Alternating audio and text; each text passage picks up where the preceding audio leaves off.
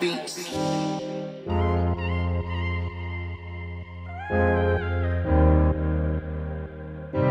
Ella secó su lágrima y hoy está puesta para olvidar.